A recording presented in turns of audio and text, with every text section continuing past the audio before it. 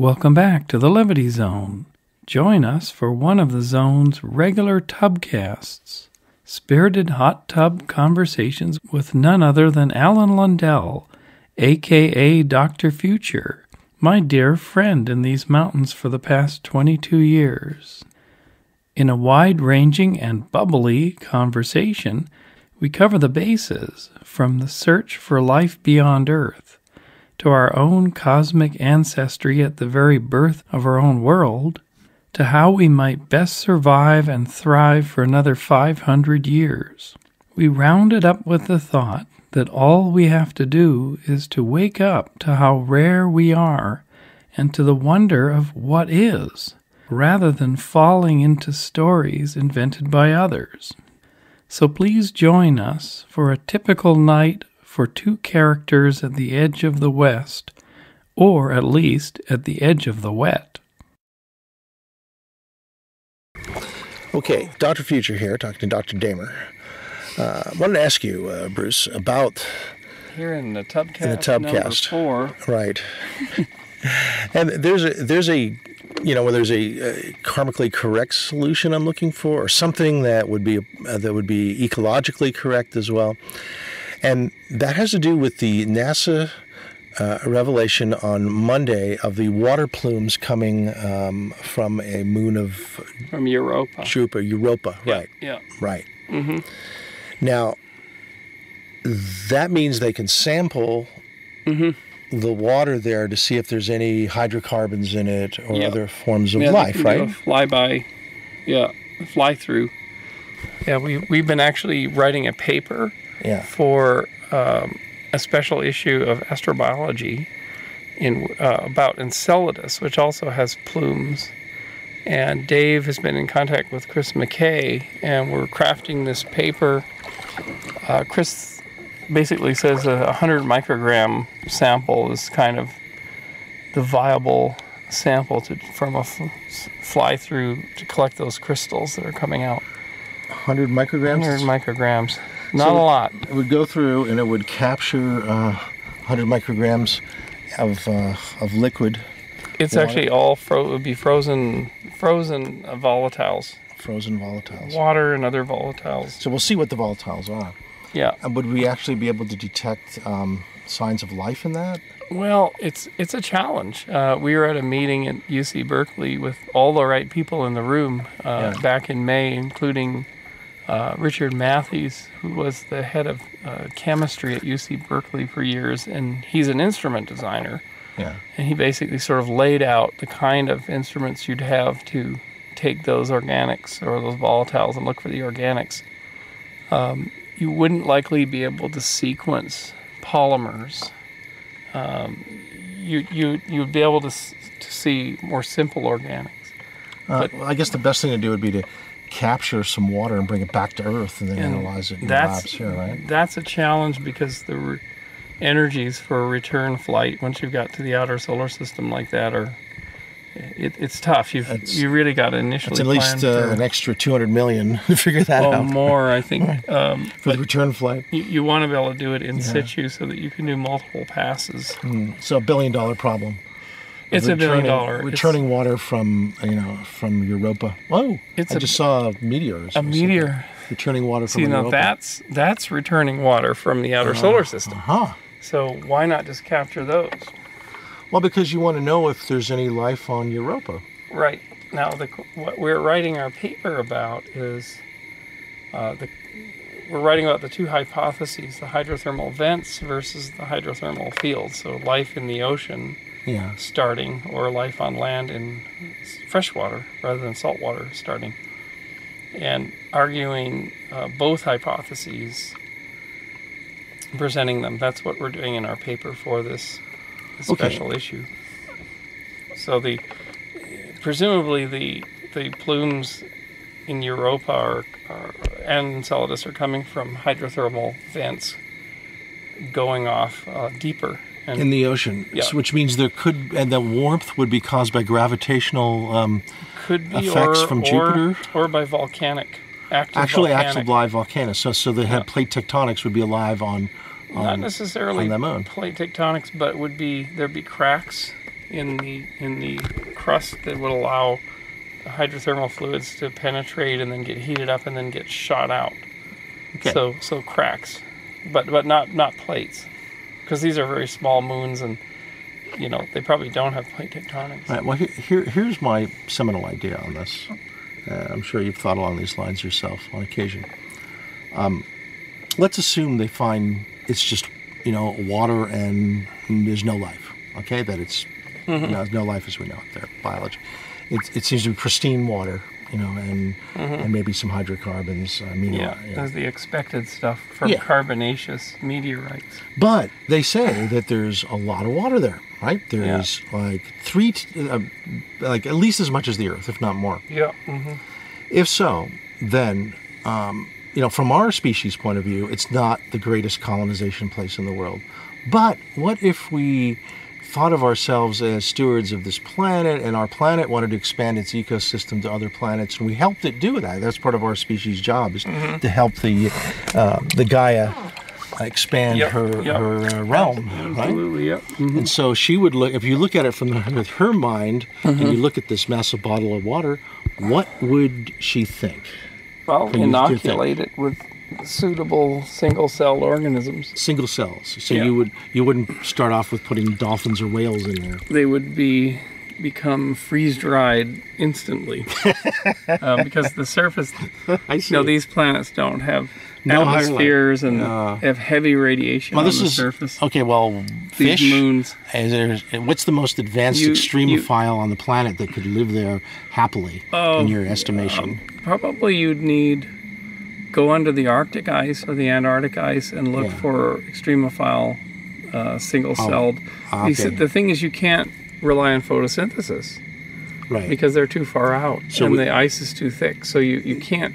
So you have to use chemosynthesis. That means you have to get organisms that live at, at the chemical uh, effusions from hydrothermal vents and see if you can imp- implant them there. that would be the plan. That's Mother Nature would love that.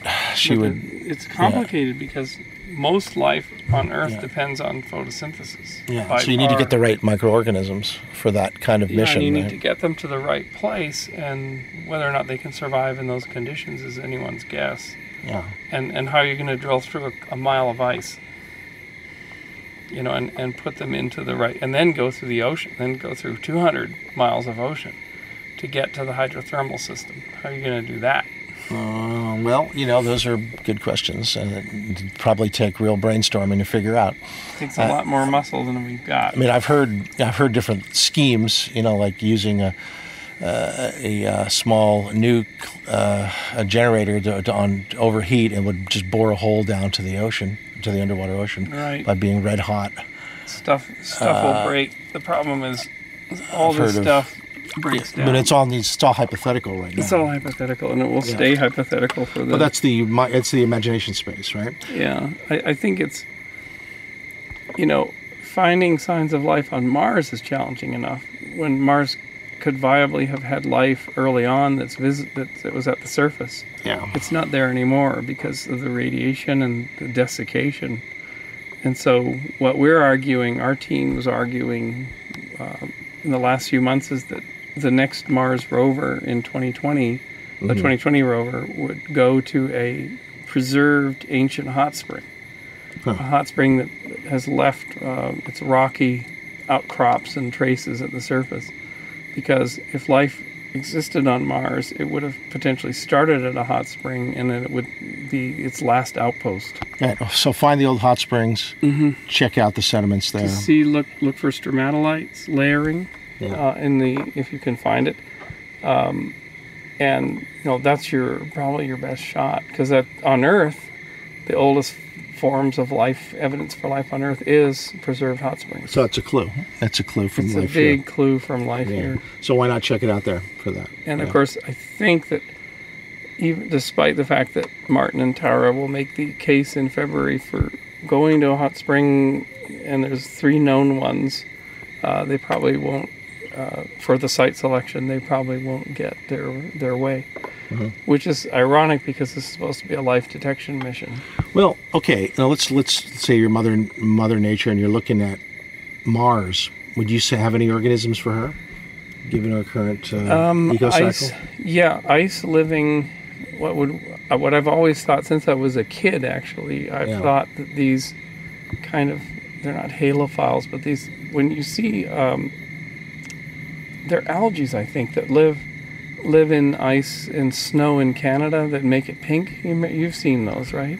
Here and there. Yeah, yeah, yeah. So, so what you what you get with that? So in the Martian polar cap Uh-huh. is is ice. It's water ice. So it has some melting So during. that would be good. So, That'd be good. Yeah. but you can have ice living uh, organisms uh, in that polar cap. They have a shot because they have some protection from the ultraviolet radiation, um, and they have a water source. Do they need oxygen from the atmosphere? That's the problem. Um, if they do, they're out of luck. Toast. They're toast. So Yeah. um, that that's a problem because all You got one one hundredth the atmosphere of Yeah. Earth, and it's mostly um, CO two. yeah and uh, CO two. CO2 yeah So plants like that. Yeah but you know you've got low pressure you've got it, it's a terrible environment It's super extremophiles. yeah you um, maybe uh, more cave cave extremophiles. no Maybe that- because they require lots of liquid water all, all life on earth that lasts any period of time has to have be Liquid in water. liquid water And what's the most water uh, conserv- conservationist form of life there is? Do you think? Um, there's cactus? single no, I guess- no, there's single-celled organisms that look like can be desiccated completely for a long periods of time and come back. But then their their metabolism just kind of almost shuts down. So uh, without water there's no metabolism. So it's a form of um, uh, It's I a guess form of bacteria. hibernation in a way, it's a type of hibernation hibernating um, microbials. hibernating microbials they- they're always the toughest survivors you know tardigrades of course can survive vacuum and, but they're a little they're small little animals basically Wow. But the problem is tardigrades need to feed on something, which is all these other organisms that are a food chain. So if you have no food chain, you have no nothing complex. Oh. So you're back to really simple microbial mats. Oh. And and the problem is that Mars is just dead. You know, it's there's no active hydrothermal fields. There's no rainfall. So even for, even for the Gaia, it's going to take a special. it's dead. It it's is really hard. It is Living in the bottom of our spaceships is um, is pretty good then. Yeah, I mean the toilets on Elon's Yeah. spaceship are far more alive than any place on Mars. You know, and so and I don't think any amount of poking and prodding is going to solve the problem. and it's beyond our science to It's think of uh, rejuvenating that planet. yeah, it's beyond. I mean, maybe in a thousand years, if we could divert several large comet nuclei. But the thing is, you have a whole planet. The problem is, you've. It took a billion years for it to lose its atmosphere and its oceans. You know, that's a lot of material. And is it Yeah. really worth all that effort? Well, yeah. I mean, you were talking about um, floating colonies could be way more interesting. Oh, they're way more cost effective. and like, like, like, let's go back to um, Gerard, Gerard O'Neill. O'Neill's L7. Yeah. Yeah, and okay, and in, in terms of our conversation, let's go back to uh, Jupiter um, and the vents of Europa, the water vents. Uh, would that be a good location in space to have like uh, a little human colony? No, maybe? no, terrible. Why, even though there's lots of water coming out, it's you're nice dealing- views. You get incredible views. The, the, the liquid water is is kilometers down in the in the ocean. When it comes out of the surface, it freezes because you're in ultra cold environment Yeah, and you're in ultra high radiation environment. so it's not from- good for the human Jupiter. body. No, and you don't have an atmosphere, Yeah. and you're just sitting on an ice. Good vacation uh, for your android. Yeah, no, it's um, and then you Not, got not for biological life forms. But then you got Titan, which is also, you know, a moon with a huge atmosphere, much heavier than ours, much thicker than ours, but it's all super cold hydrocarbons. Huh. So it's hydrocarbon rains, it's methane oceans. That's another place best visited virtually. Yeah, no, it's it's none of those places are very viable for. Yeah. No, I, th- I think there more be natural virtual locations though to visit. I think uh, to actually get the sounds and the feel and the kinesthetics and translate it into some kind of uh, multi-sensory uh, immersive experience could be quite interesting. Um, But nonetheless, uh, for for actual biological life, uh, what what would be fun? I mean, the, L, the Gerard O'Neill's L five locations. Well, you think the- that's the the highest offer? Anywhere, and this is the Shepherd project. Yeah. anywhere in the solar system, and you can create your own worlds. And what we came up with, Peter and Julian and I came up with Shepherd, which is not getting much attention, but I still believe it's the it's the sole viable path forward. Asteroid capture. It's you create you you get an asteroid that's a thousand tons that's fifty percent water ice. You you put your enclosure around it, Yeah. you introduce atmosphere and then you start boiling off that that water ice. If you boil if you if you heat the interior just such that the entire asteroid becomes a liquid globule like a single droplet the rocky stuff will go into the center and now you have a sphere. You have a sphere of water full packed full of amino acids and everything else from the rocky part of the asteroid you've got an Which ocean is uh, food and fuel. yeah, you've got an ocean around a rocky core, but it's really small. It's a miniature world. The atmosphere now is getting to be more like uh, Earth, and maybe it's 50% sort of Earth atmosphere. Outside, you have a huge solar collection surface on your balloon that you can use to light the interior and to heat the to heat the interior. Solar on one side, light on the other, so it'd be a decentralized sun Well- in the whole sky. the whole thing can be lit with LEDs Yeah. inside, and and it can be heated by simply rotating uh, absorptive uh, s- surface fabric toward the sun. I live under an LED sky. Yeah. So exactly. so now you have, and it's anywhere in the solar system in a certain It could certain travel, band. then, right? It could It can travel because you can use the gas to push the globule. Ah, And so all with solar power. And so now you've got a moving biosphere. So you inoculate that with Terran life, where you can control the temperature and the gas composition. You can create a nice balance of uh, creatures too. huh? You can. You can design like one of those glass globes, you know, that people Right, buy that have so shrimp the- in them and they have Yeah. some and they're closed off. They're, Yeah, they don't yeah, have yeah. they're sealed in, but Yeah, they, so they live for years. You could have a Hawaii version and a. Yeah, they live for years just with light coming in. So we know that this works. So this Well, I is live on a barren planet when you could be in Hawaii in space. yeah. So this is the no-brainer, low-tech solution of creating biological support systems in space. Yeah. It's, yeah. And it's Well, I think portraying those is going to be the next level. Then, I mean, the visionary wise, I mean, don't be afraid to go out hundred years, you know, to see what a what a really uh, comfortable. So that's what Elon's done. That's at least hundred years out for some of his ideas. you know this something like Shepherd could Yeah. be proven up and working by the late 2030s. well, there you go. We might And actually be alive. It's it's yeah, it's low tech. It's it's low technology. It needs demonstrator flights. It needs uh, missions to identify the targets and go and, and encapsulate and move them around. And it's it's a all-in-one technology to solve the resource problem. Yeah. And you know, I'm bummed because nobody, including Elon or nobody, has picked this up yet. I'm confident, however, Maybe there's a reason for that. Maybe it's um, it's not time for yeah. it. Yeah, It's timing time. is everything, and maybe you're supposed to stay uh, in charge of it rather than to give it away to someone like that. I, you know, I kind of gave it away. But you did, but it still got it.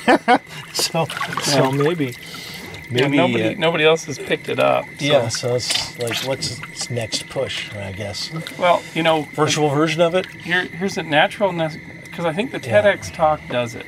Nine minutes, it does the whole thing. Yeah, Um, here's the natural next step.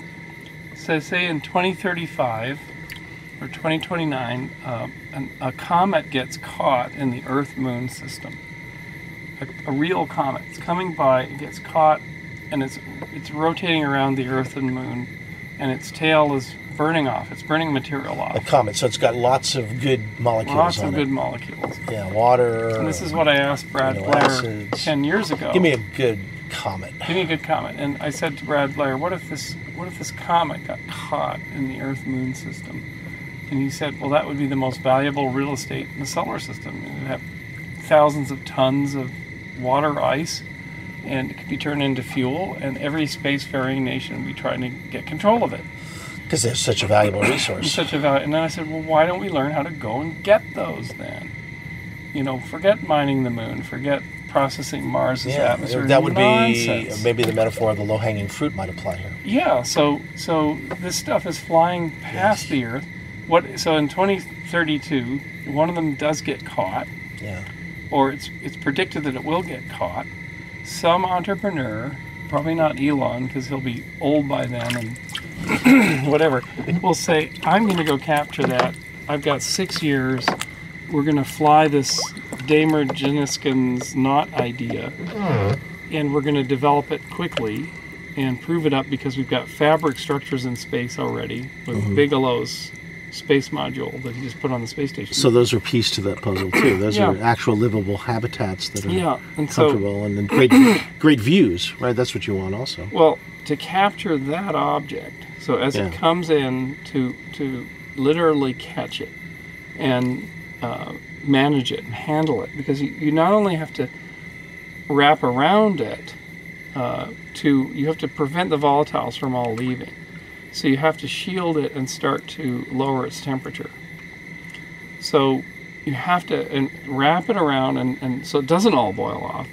You see, you put the, the wrapper around it and then you have to move it. Then you have to start uh, using its own gas. You can then start to, to move it and put it into a stable orbit and then harvest it harvest it for 30 years Yeah. you know, and, and keep its temperature down. And then when you need volatiles, you just raise the interior temperature just by rotating the closure to the black side, to the sun. And then suddenly you're, you're now extracting. It's Well- like a gas pump. How how uh, much uh, food and fuel could you expect uh, an average sized comet to produce? Depends on the size of it. I mean, are you talking?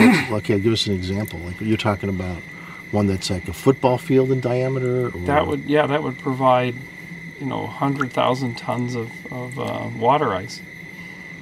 Hundred thousand tons. 100,000 tons. So that's, you know, vast amounts of fuel for Mars trips back and forth. So that would that would And for shielding, to put in, in the fabric enclosures for the HABs to Yeah. shield people from radiation and for cooling.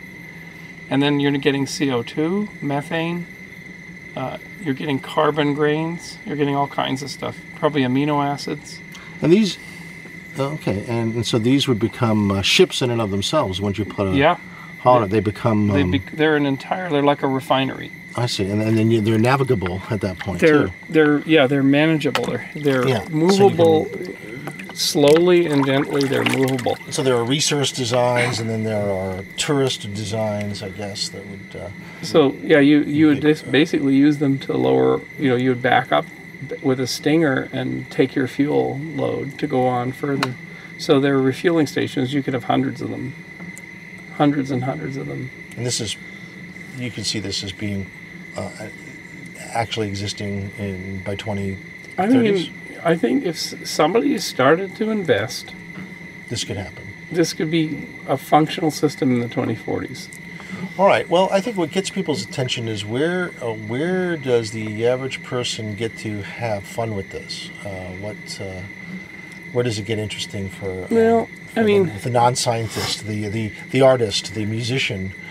Uh, it doesn't. Um, it, it, Well, zero gravity. You know, zero gravity is a lot of fun, right? I, think, mean, I uh, think that it, if you, you you have to go back to the basic space business. So well, you have the infrastructure that needs to be built first before it gets to be interesting. yeah, so if Like, you like building the interstate wasn't fun, but then all the fun things that people do by using the internet. yeah yeah. So the the thing is, The, inter, the interstate. the, the first place you're going to is selling fuel in low Earth orbit for missions that go beyond it and lowering that cost. So instead of Elon having to build a gigantic launcher that launches six or seven times to lift water. Yeah, you want to get the fuel in space. Yeah, you can get it all in space. You do not need those launchers. Yeah. You, you're going to launch a lighter ship, fill it up, It's because given the on. existing rocket technology, it's prohibitively expensive to take it off the planet's surface. It's not particularly good for the planet either to remove its. Uh, Yeah, no, whatever Elon says, if it's 20 launches of a, of a heavy booster to lift the water for a Mars trip, that's 20 launches. That's, that's billions in cost.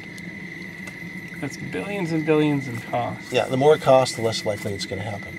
basically. Yeah, it's it's a huge barrier because who's going to pay for it? A private company's not going to pay. All right. Well, then, what is the path of least resistance? Where can you like slip this in for nothing at the right time? Right. That superconductivity exists at the right time.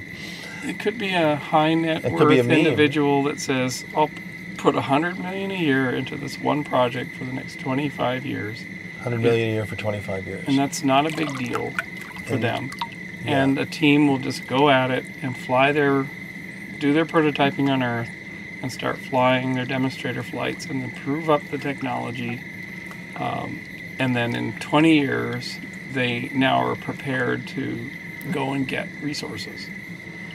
You know, and that's one way to do it. I mean, the way that the electric car business was built was was a trillion dollars in cell phone investment, right? But that that had actual customers. Yeah.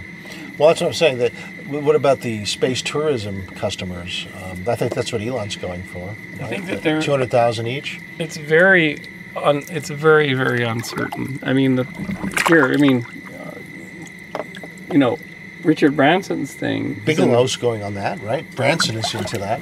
But there, do you realize that there were, you know, there were eight or nine space tourists Yeah. launched by the Russians. There have been none for the last few years, and you know, Virgin Galactic, which isn't even orbital, Yeah. uh, was supposed to be launching people on their trips by 2012 or 2013, right? And and they had a crash. They had a fatal crash. a pilot from Scotts Valley here. Yeah, who died, and so that's pushed that back to 2018. And those are just suborbital, like joyride flights. So we're not, you're not looking at, you know, and is when when SpaceX starts carrying people to the space station in a few years, are they going to be carrying tourists, or are they just going to be, you know, they're, they're going to be carry four or five astronauts.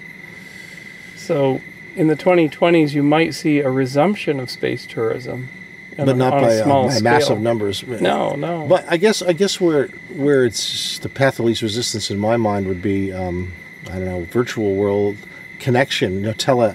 uh, telepresence. telepresence, uh, where you Mhm. actually uh, are on Mars. You know, uh, yeah, and but you know, then again, that's that's the, the. Mar the, the, the Mars 2020 rover is going to have the, the same Mastcam, yeah, similar hardware.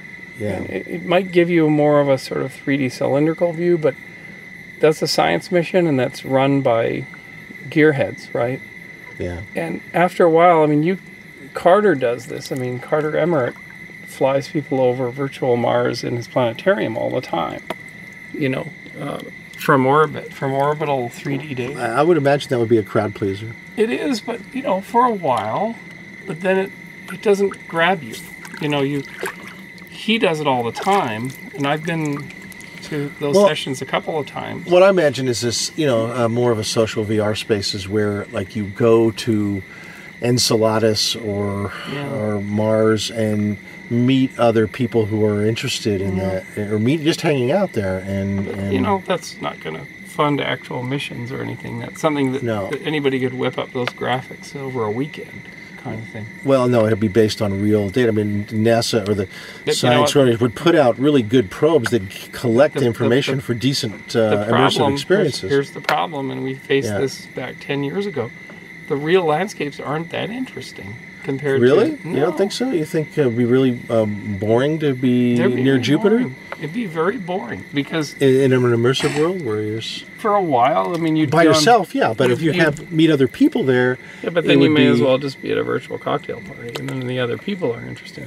But the, you're dealing, say, on Enceladus. Yeah. It's just a big flat plane of ice, and and it'll have interesting colors to it. like you know the Grand Canyon. You think well, there would be the Grand Canyon and stuff like that first. I'm sure because Yeah. more accessible. But people go there, they see it, and that's fine, and they don't go there a lot. You know, it's a. I don't know. I don't. I don't think it's a. It's a market driver. Hmm, solar system is not that not as interesting as our own planet. Yeah, I mean this this forest, you know, carries for us far more interest than, say, the, the mostly gray lunar landscape. Especially with the play with the zoom function, you go down to the microscopic Yeah, level. no, there's things happening. Birds are flying. I mean, this is tremendously more interesting. So this planet's way more fascinating I mean, Mar- to, to most people. Mars looks like a really bad part of Arizona. you know, I see. and it, and it's yeah. I mean, Yeah. Well, that's very pragmatic thinking about that. Yeah, I have to be pragmatic because I've seen these patterns over and over again. I've seen proposals like Elon's 25, 30 years ago over and never come to fruition. You know, so I just don't want to even bother getting excited. I'm, I would rather see an incremental progress on something real in my lifetime. Well, I, th- I think if you can figure out what the group mind would really enjoy with this or really uh, appreciate, I mean, not. I mean, what I found is that most uh, the group, of most of the species is not are not scientists. They're not- they're they not don't engineers. Have, they don't have the, the, the fascination for what is like scientists. Yeah. You know? And for whatever reason, I, I you know they they just don't. They don't. Uh, but they have fascination for each other. You know, I think most of the species bandwidth is for other members of our species and species-centric thinking, Yeah, uh, and you know, mating opportunities, and yeah, you know, um, Yeah. uh, you know, uh, when normal, what we used to call knick-knack reality. Nick You're absolutely right, and that's that's what we've got to work with, and that's fine too. I mean, as long as there's Yeah. some visionary nerds that get funded yeah, to do stuff to take us to new places. Yeah, Otherwise, it's just all big cocktail parties, which is fine, you know. Orgies are nice too. yeah, it's all Cat balls. it's all uh, quite amazing, actually. Yeah.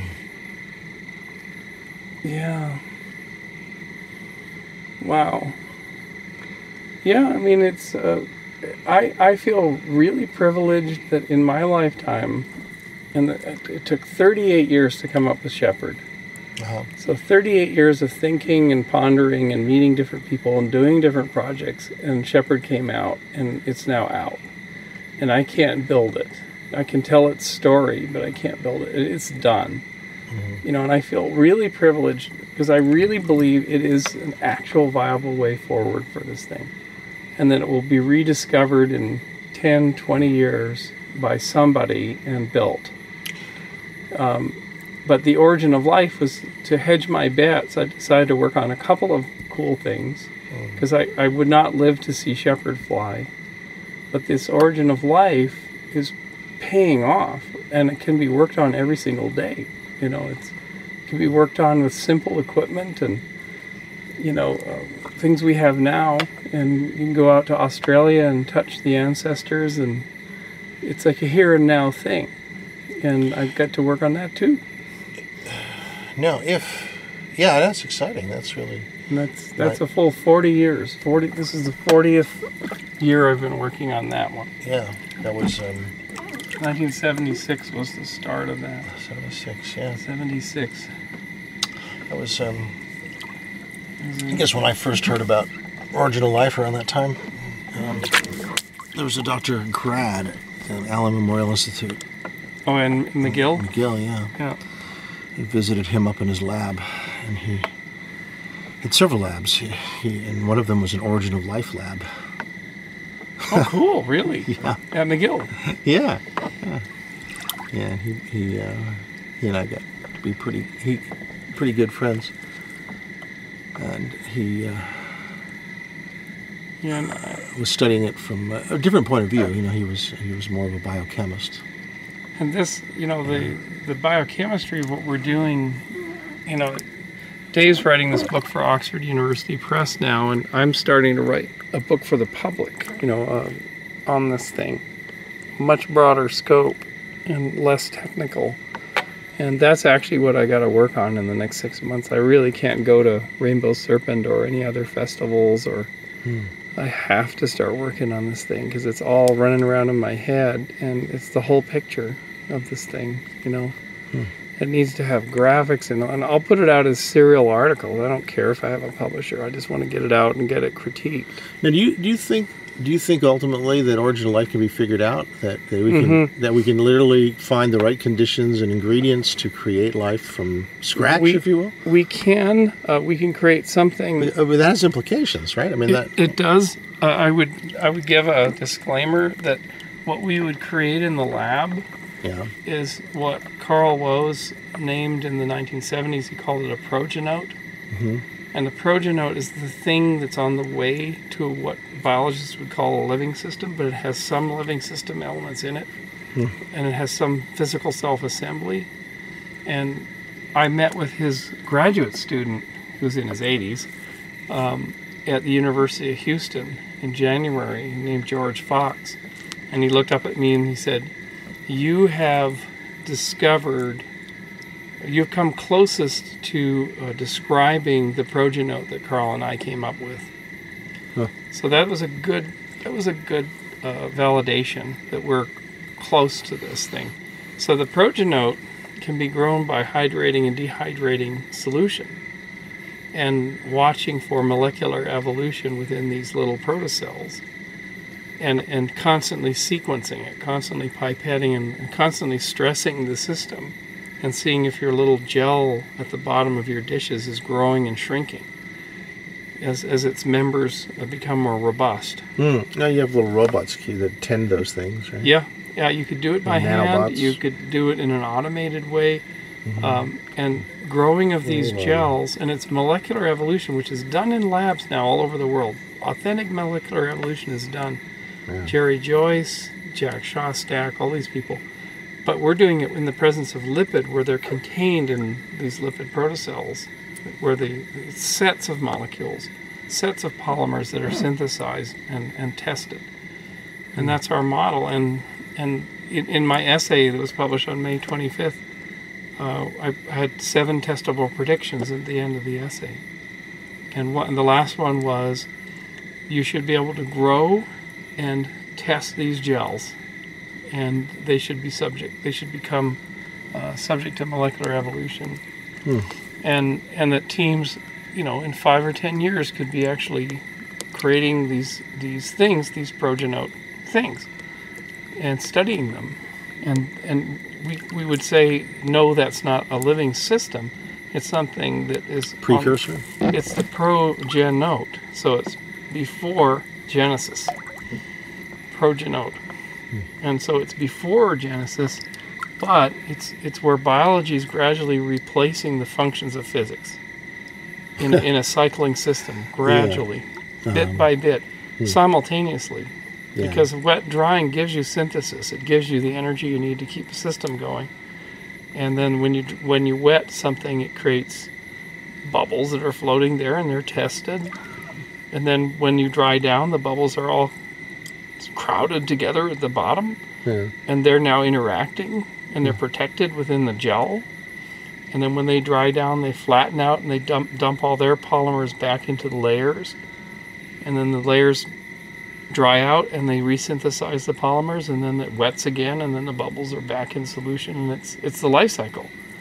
Because the dry phase is synthesis, it's like forming a seed on a tree. Mm-hmm. Then when the rains come, the seed has fallen into wet ground and it sprouts and grows. Right? And when when the when the soils are still a little wet, hmm. the whole thing can grow vibrantly. And then when the soils completely dry out, it's got to be ready to drop its seeds, right? Hmm. Like a piece of like a, a a tiller of grass it has to be ready with its seeds when the soils dry out. And it drops the seeds, waits for the next rainfall or the springtime. Same thing, Cycle. pattern of life cycle, yeah. and that that uh, that pattern we we discovered a model for it in hydrating and dehydrating pools Yeah. yeah. and that there it is you know Yeah, it's a hydration, dehydration uh, as a core to. it's um, the core it's, Spinning, spinning it's the that. engine Yeah. it's the engine Heat and uh, heat and cold. yeah because you because the dehydration gives you synthesis of polymers so you can form proteins you can you can take Bragg's amino acids stick it in a dish in the presence of, of lipid which you can get out of egg egg uh, yolk and uh, dry it down, and it will force the Bragg's amino acids together to form longer chains, Wow. to form uh, peptides or called peptides. You can do this in your kitchen. so nature was able to do this on land surfaces, on planets like Mars and, and Earth, possibly Venus, for a while, right? No.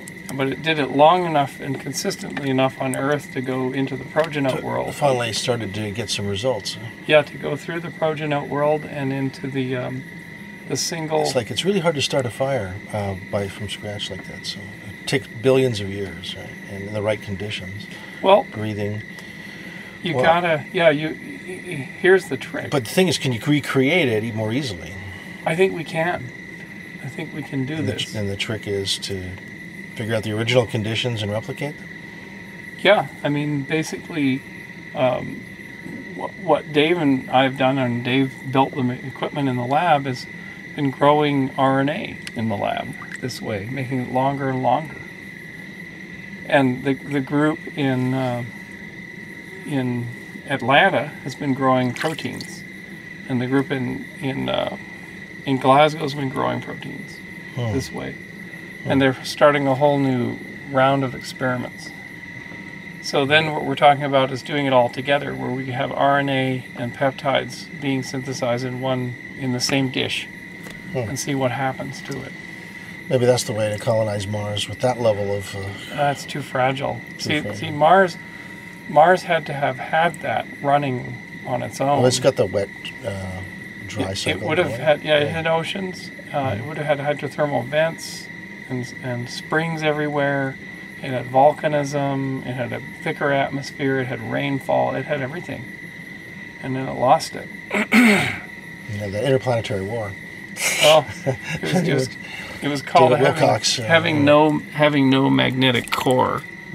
It had no magnetic core, so then the solar wind just blew the atmosphere off the top. Uh, no, no. Is that true for most planets? They don't have a magnetic. We don't know that much. We don't know, uh, but magnetic cores. I mean, there's none. Mars doesn't have one. Oh. I would get. I don't The know. moon. The moon's too small. I mean, the moon's the moon's made out of the Earth. Oh, I see. So the the, Earth, Yeah. the moon was made by a collision with what they call Theia, which is a Mars-sized planet collided with the early Earth The and, early, early billiard balls. and, of, uh, and donated all that iron. So we got Yeah. donated iron.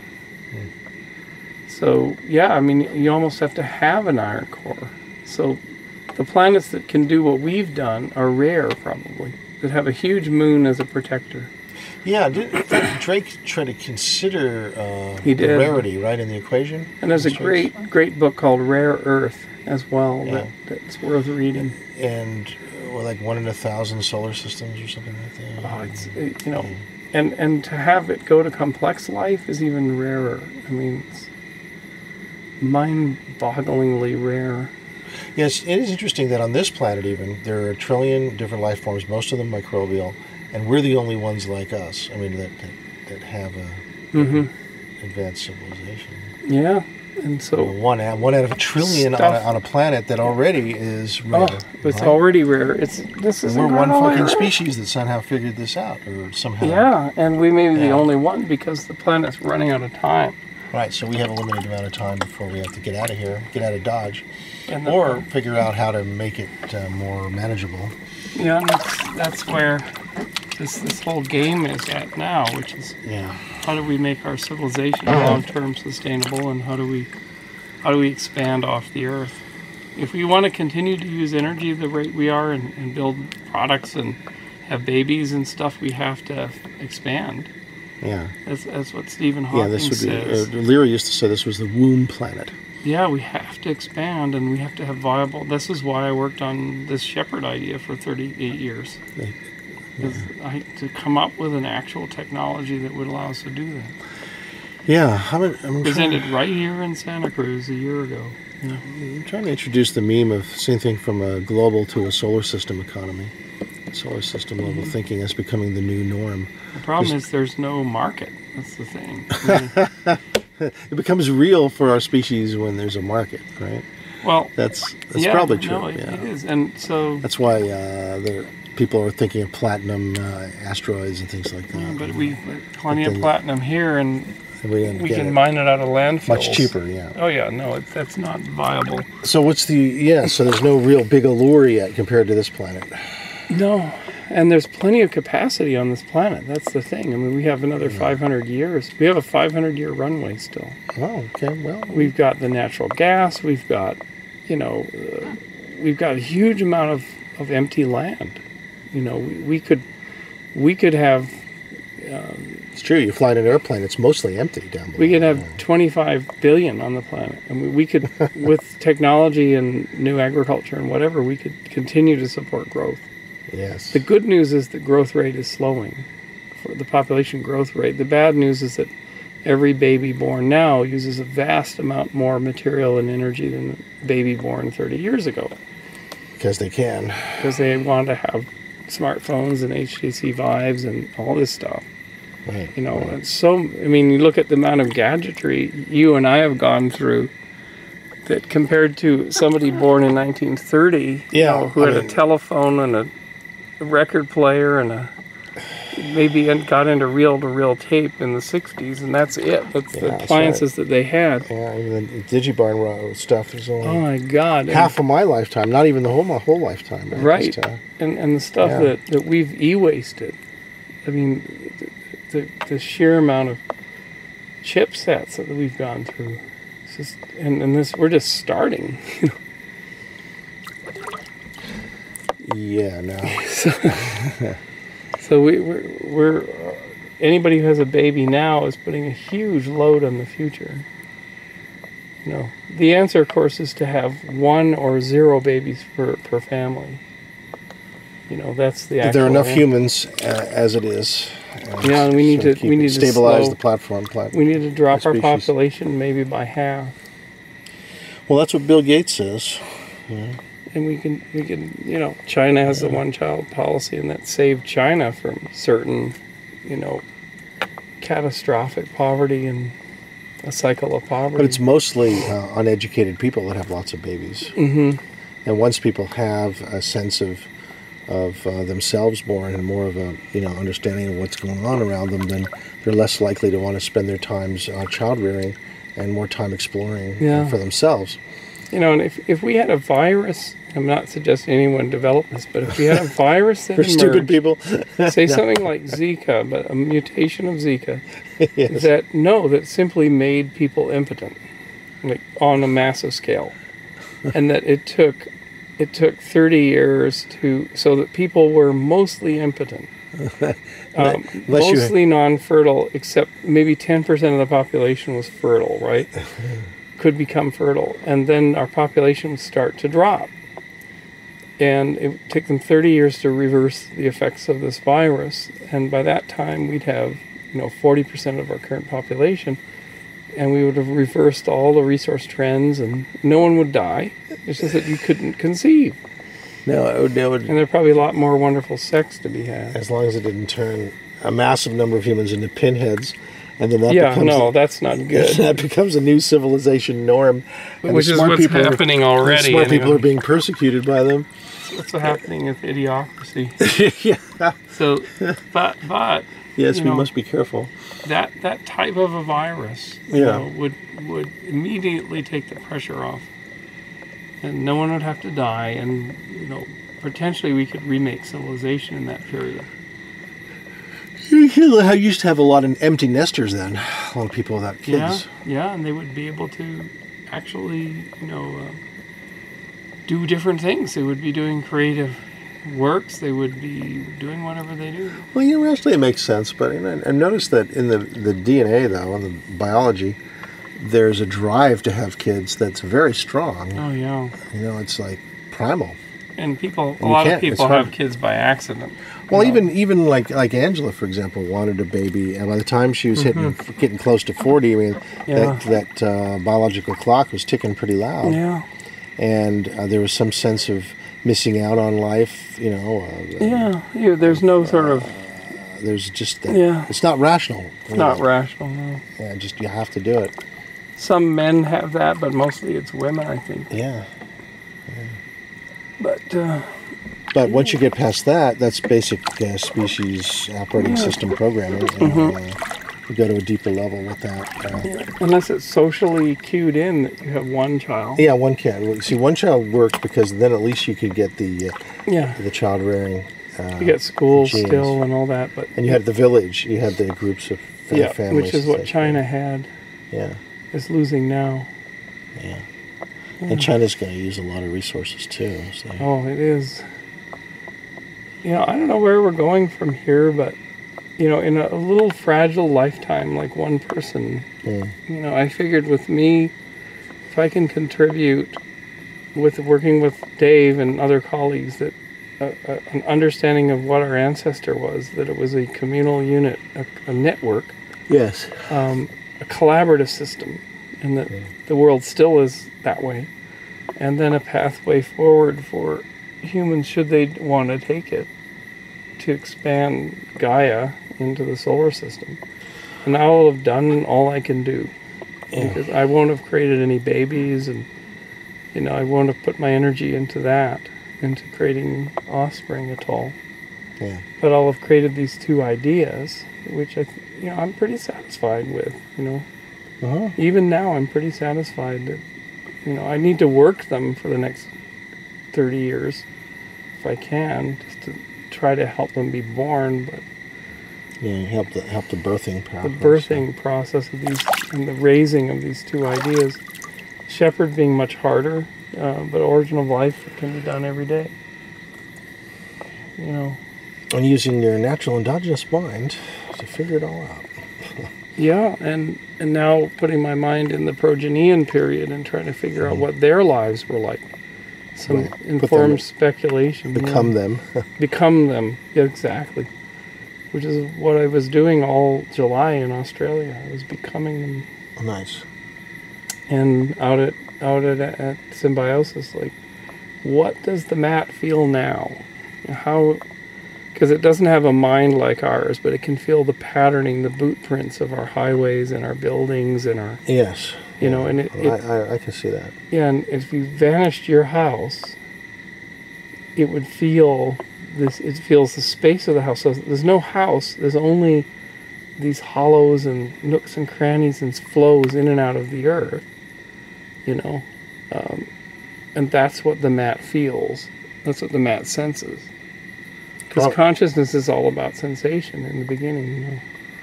And if and we're all connected to the mat, right? Yeah, we're sort of we're outgrowths of the mat. We're intimately part of that, and we are occupied by the mat. You know, So it's a big part of our consciousness.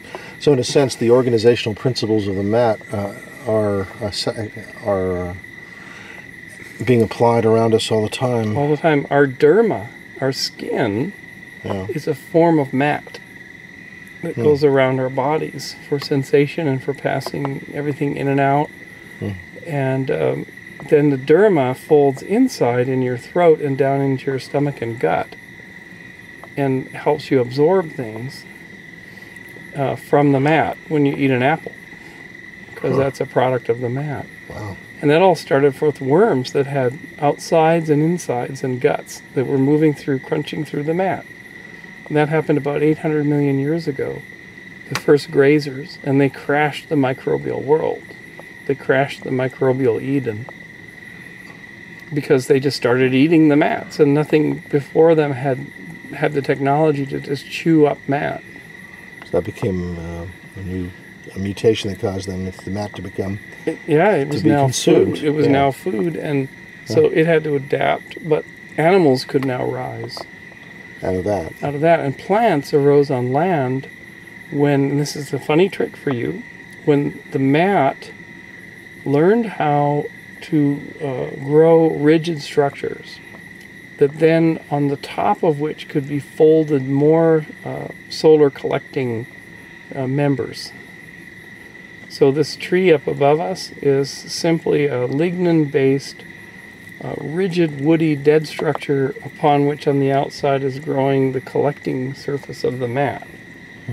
And, and, and it started off with liverworts. And the liverworts still live in the Santa Cruz Mountains. Hmm. They have a little holdfast and they have a little thing that comes up. And they're like a super early plant. Hmm. And the tree is a liverwort with a long, longer stem that has branches and leaves and stuff.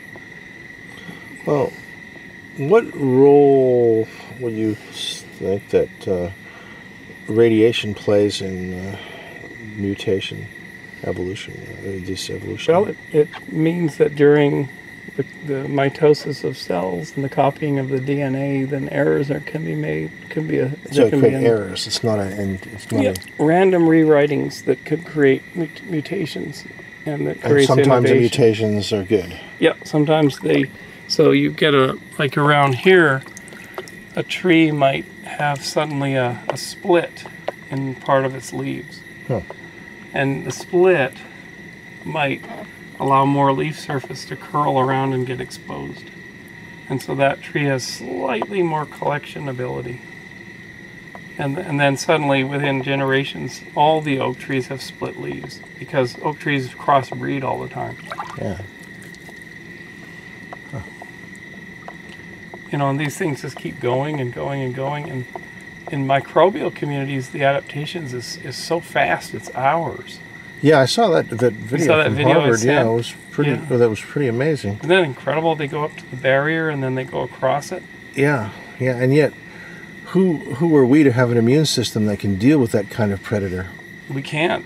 Um, I mean, every, our, yeah, every time we introduce an antibiotic, we, it, it's up against that. it's up against that. Yeah, but our immune systems are pretty. If you if you're They're healthy, They're adaptable right? They somehow have the defenses for that kind of insane mutations. Mm-hmm. unless uh, you get a huge load of bacteria that overwhelms you. Yeah, so we must have uh, a pretty sophisticated defense system. Oh God, do we ever? And my friend who works in San Diego uh, on immune systems, Yeah, he says that life is at the boundary of the cell where there's a half a million receptors, yeah, all sensing and fighting the battles against invaders constantly. constantly. And he said that's where life happens. It happens at that incredible uh, margin of the cell wall. Yeah, interesting because that's what Bruce Lipton's into is the Mm-hmm. uh, the cellular membrane. Yep. And whoa, there's another meteor.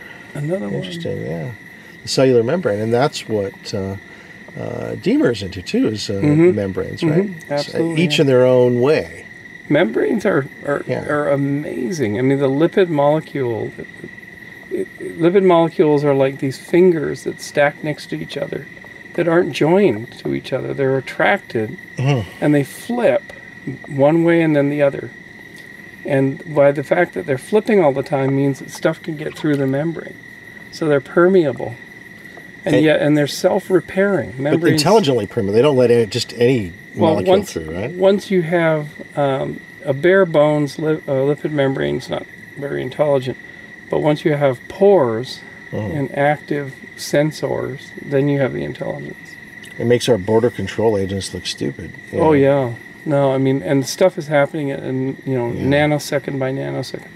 And they're just allowing a constant flow of the right molecules Mm-hmm. through the membrane. And white blood cells, my God, I mean, they're they're machines designed to detect and take out dangerous stuff, and they're constantly on control. Right? Viruses, bacteria, and Everything. fungi mostly. Yeah, and I mean, any reading of a, you know, cellular biology text, you you start going into this awestruck state. You know, Yeah. you don't need a Bible or a cathedral. You know, you've got the most um, awestruck thing in just in, in cellular biology, Right. microbio.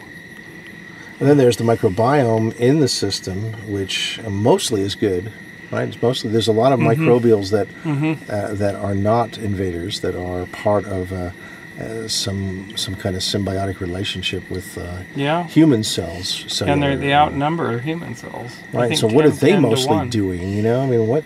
the They are. fuck? They are. I mean, we grew up with them. We, we exist because of the microbiome. Yeah. We are effectively mechanisms to feed a microbiome. Yeah, we are serving them in a way. Yeah, we are. Well, we're serving we're serving this enormous thing called DNA. And is the microbiome part of a larger mat? Yeah. When you sh- take a shit, when you eat something, you're taking in microbiome from outside. When you take a shit, you're donating it back. Oh. So you're you're constantly cycling microbiome in and out of the body. When you rub your eyes or your nose, when you rub Moving your skin, around. you're We're, getting we're serving them. Maybe they're the ones that want to uh, transport over to there. They're ready to jump off.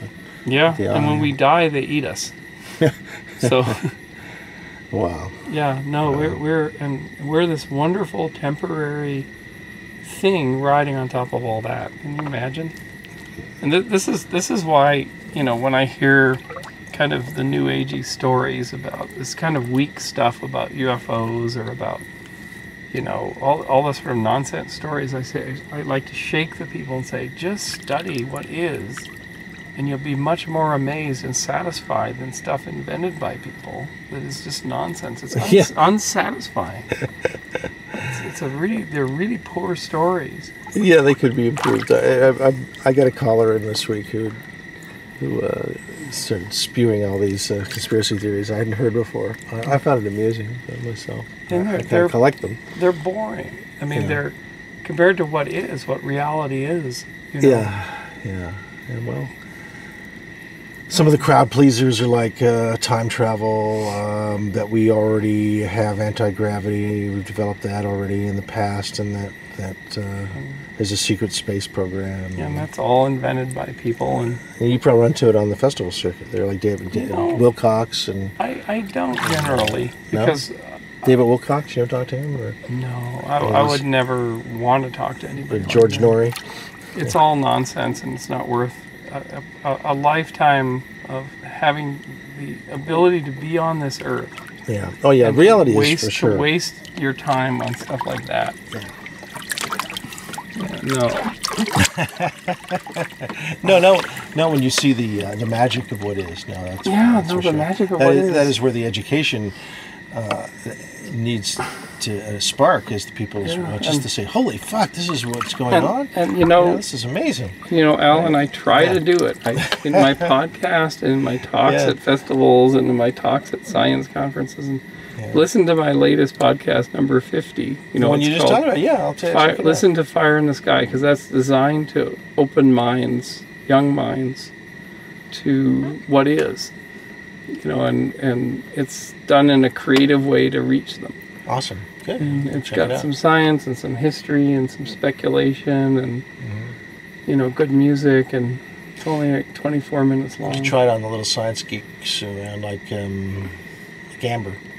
Uh, Yeah. Michael's grandson, daughter, or Jaya's granddaughter. Yeah, it, it's it's listenable by kids. In fact, the girl I was just talking to on the phone from Australia, Uh-huh. her daughter, she said, "I'm going to play this." She just heard it, and she she called me and she was saying, "This is great," and she's and she's going to let her daughter hear it.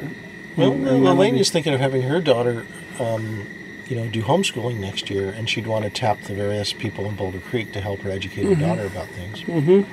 And she's a super bright. She gets straight A's in school, but she's so bored with school, Ah, and so she kind of feels like, is that all there is? Yeah. um, yeah I don't blame her. you know, she and she gets depressed. Yeah, I don't blame that either. So I think Amber is a bright light that deserves some attention.